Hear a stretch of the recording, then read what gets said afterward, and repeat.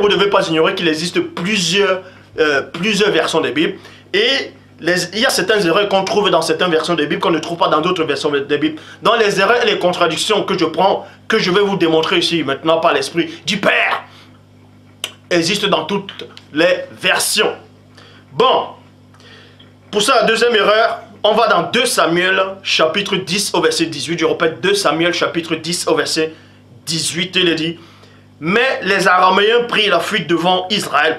David les tua 700, 700 chevaux de trait et 40 000 hommes, virgule. Il frappa aussi le général Sabaka, Sabaka, qui mourut sur le chemin. Donc on vous dit ici là, dans 2 Samuel chapitre 10 au verset 18, que les Araméens ont pris la fuite devant Israël.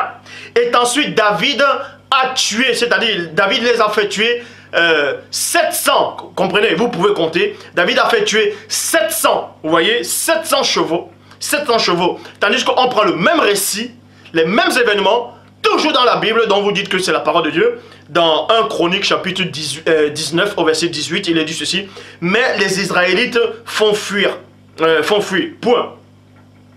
Mais les Israélites les font fuir, point.